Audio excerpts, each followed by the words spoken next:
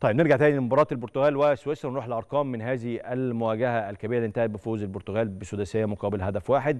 لأول مرة منذ 31 مباراة وتحديدا عام 2008 أمام سويسرا في كأس الأمم الأوروبية رونالدو لا يبدأ في التشكيلة الأساسية للبرتغال ببطولة كبرى. برونو فرنانديز ساهم في خمسة أهداف خلال ثلاث مباريات في كأس العالم الحالي. هو أفضل معدل مساهمات في تاريخ مشاركات البرتغال بالمونديال.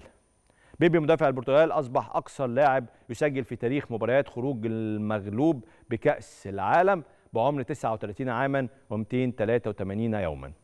والبرتغال سجلت 12 هدفا خلال النسخة الحالية من المونديال وهو أكبر عدد أهداف تسجله في نسخة كأس عالم واحدة من 1966 وجون كولو راموس هو ثاني لاعب في تاريخ البرتغال يسجل هاتريك بمباراة واحدة خلال مباراة خروج المغلوب بعد إيزيبيو الذي سجل أربع أهداف أمام كوريا الجنوبية في 66 وأول لاعب في المونديال يسجل هاتريك في الأدوار الإقصائية منذ كلوزا في 2002 كما أصبح ثاني أصغر لاعب في تاريخ كأس العالم يسجل هاتريك بعمر 21 عاما و169 يوما بعد بيليه في عام 1958 بعمر 17 عاما و244 يوما. راموس أرقامه في المباراة. رجل مباراة البرتغال وسويسرا لعب 74 دقيقة سجل ثلاث أهداف وصنع هدف واحد وسدد ست كرات وصنع فرصتين للتسجيل أرقام مدهشة جدا.